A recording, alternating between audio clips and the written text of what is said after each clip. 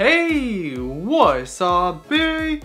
Operation iDroid here, and in this video, I'm going to be showing you how to update your ARM9 Loader Hax custom firmware Nintendo 3DS to the new Boot 9 strap custom firmware.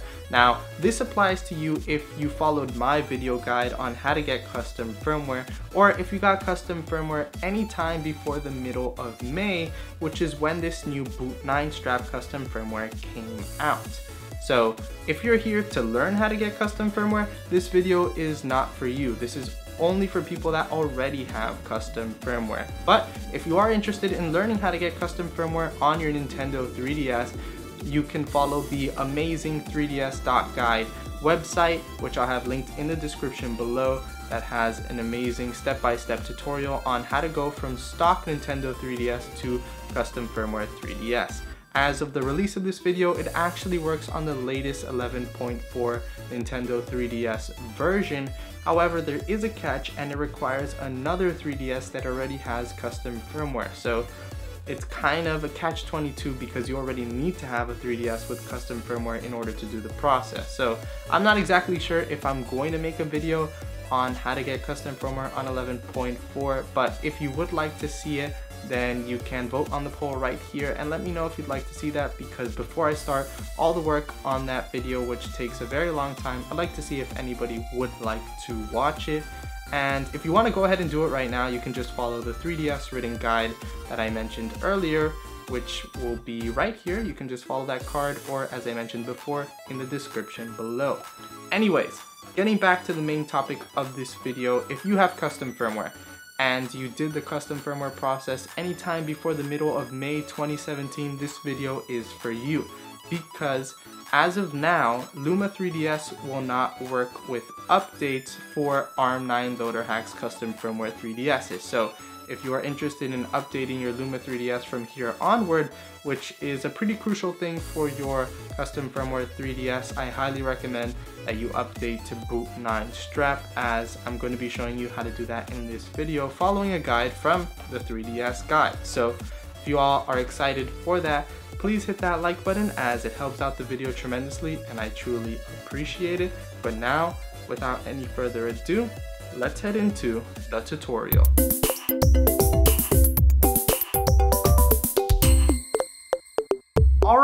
One last thing before we begin, I need to tell you about this amazing website that allows you to create Android games without any coding experience and completely free. But the best part is you can actually make money off the Android games you create using this amazing website called Quick App Ninja. It's super easy to use, you can follow their tutorial, you can create amazing Android games as the ones you see here, and of course the best part, make some quick money as many others have that have already started using Quick App Ninja, and it's pretty amazing. So I highly recommend you check out Quick App Ninja via the link in the description below, register and start creating your Android games. Alright, so as I mentioned at the beginning of the video, this is not a guide on how to get custom firmware on your 3DS. Rather, if you already have custom firmware on your 3DS and you got it before the middle of May, then you're probably running ARM9 loader hax and you need to update to the new Boot 9 strap custom firmware in order to continue updating your Luma 3DS, which is pretty essential for anything that you want to do with custom firmware. Finally, the last thing I want to mention before we begin is that if at any point while you're following my video and the written guide, if you encounter a problem or have any questions, you can always ask in the Nintendo Homebrew Discord in the 3DS Help and Assistance chat. There's always people there that are happy to help you. When you get into the chat and you need help, mention what step you're on to get better assistance and that you're following this video.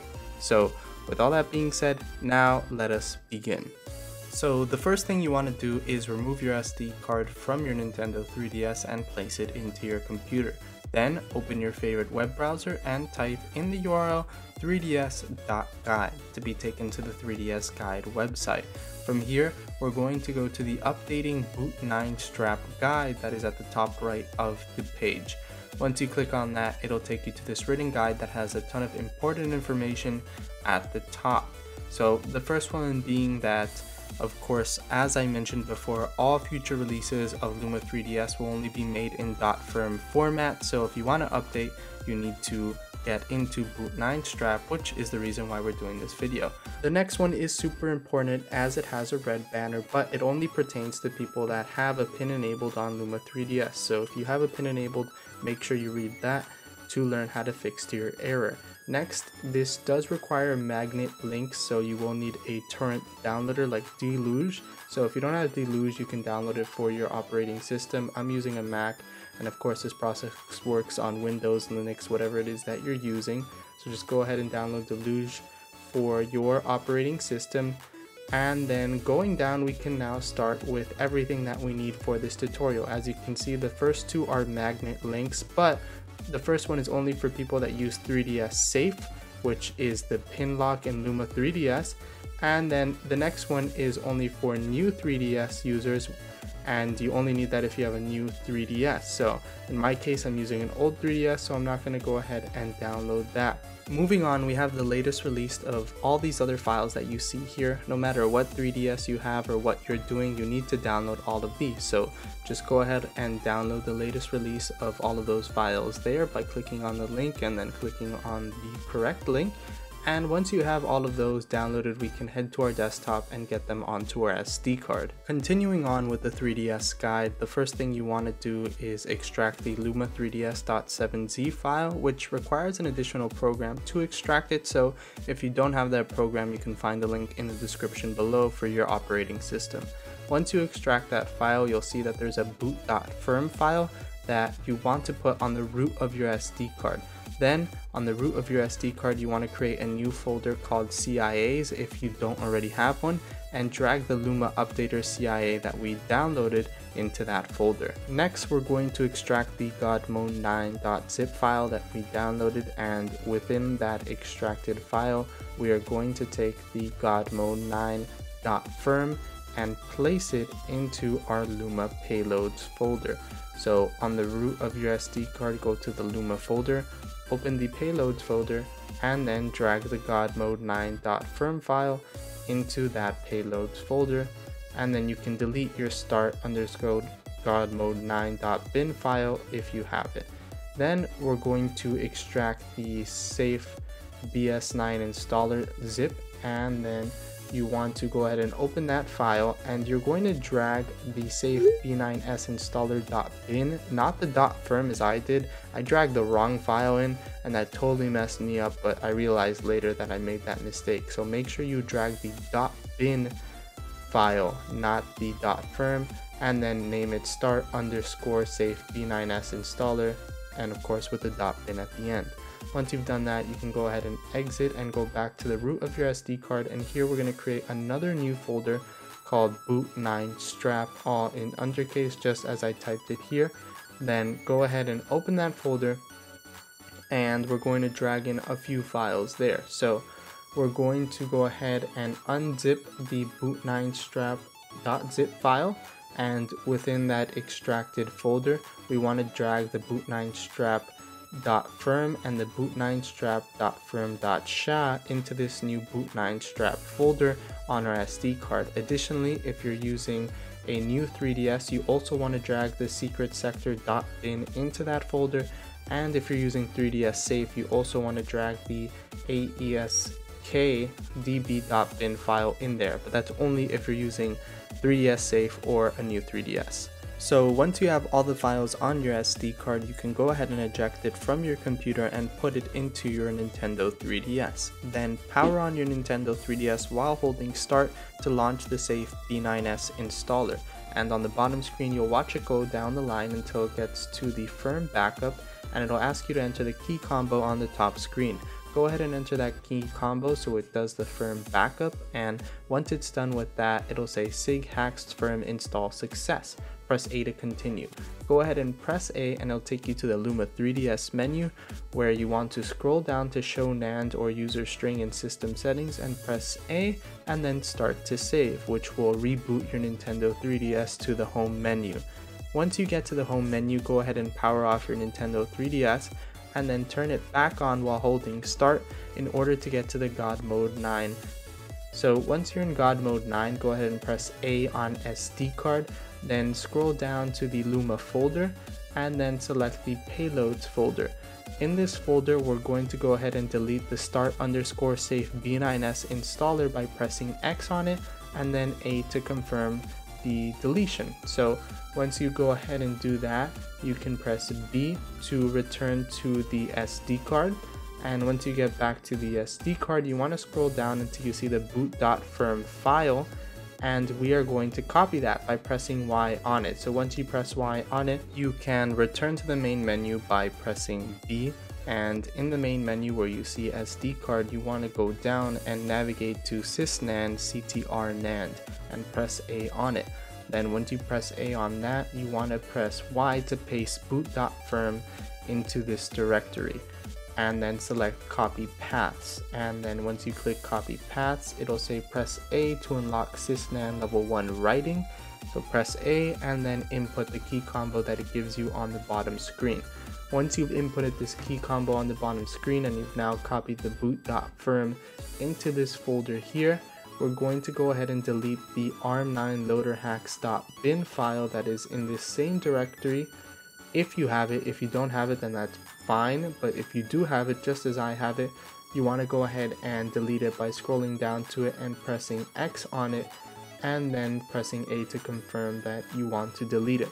Once you've done that, we can press B to return to the main menu and we're going to navigate back into SD card and we are going to scroll over to the Luma file and just hover over it. We're not actually going to go into the Luma file this time, rather we are going to copy the Luma folder by pressing Y on it. So go ahead and press Y on the Luma folder and once you have it copied we can return to the main menu by pressing B and we're going to go back into sysnand ctrnand and in this directory we're going to go into the RW folder and here we are going to press X on the Luma folder that is already there to delete it so press A to confirm the deletion of this Luma folder that's already here and we're to press Y to paste the new Luma folder into this directory. So press A to copy the paths and once you've done that you can press start to reboot your Nintendo 3DS and it'll take you back to the home menu. From here we're going to go to FBI and FBI looks just like so if you don't know what FBI looks like. So go ahead and press A to open it. And once you open FBI we're going to be installing the Luma Updater CIA and of course you can do that by going to the SD card on the bottom screen then going to the CIA's folder that is also on the bottom screen selecting the Luma Updater.cia and then selecting install CIA then just continue with the confirmations until the Luma Updater CIA installs. And then once it's done installing you can return to the home menu by pressing home. And you'll see that you now have the Luma updater icon or some of you may have already had it but now this is the new Luma updater so you can go ahead and open it and update your Luma 3DS if you have not updated it recently um, so you can easily update it and you can see if you are on the most recent Luma updater on the top screen. And all you have to do to install the latest version is hit install stable version or if you want to get the nightly version you can also install that one.